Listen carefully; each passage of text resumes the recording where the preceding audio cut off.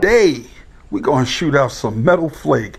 Now, what I have here is the solid uh, metal flake. This is 0.004 in gold.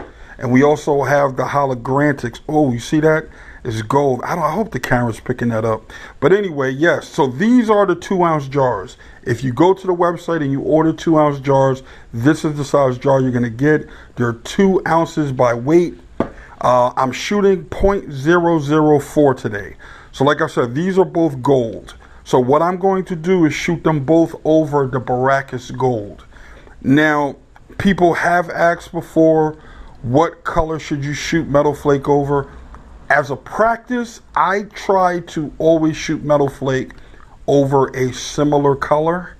And the reason for that is, is if I'm doing just a strictly metal flake paint job, I if if you there's going to be some areas that you might hit more than others. If you shoot over a similar color base, then it won't be as noticeable if you happen to miss a spot or not get as much in one spot as another.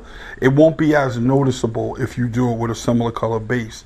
So I try to, when possible, use the same color base for the flake. But you don't have to. You can shoot over black. You can do whatever you want to do. Go heavy. Some people even use them when they do candy paint jobs. They'll get the flake the same color as the candy in order to just I guess, enhance the color of the candy. So there's a lot of things you can do with it. Some painters hate metal flake, you know, and it's because it's a messy job. I mean, it makes a mess. But I'm only going to make a small mess today, YouTube. If you guys need some speed shapes, I'll leave a link below. If you guys need metal flake, listen, buycustompaint.com. You can go see all the colors. Um, this is the thing. We do ship the flakes and the pearls internationally. Um, it's only free shipping in the lower 48 states. So if you're anywhere else, Canada, wherever you guys are ordering from, uh, we can get it to you, but you're going to have to pay additional for shipping. But other than that, YouTube, that's it. I'm ready to shoot some metal flake, all right? So we're going to do solid flake versus holograntic flake. I'm going to show you guys the difference. I'm going to show you guys the effect. They are both 0.004 is what I'm shooting today. We do also offer 0.008, uh, but on the 0.004, I am able to shoot this with a 1.4 tip. I'm going to use my Hot Husky for this.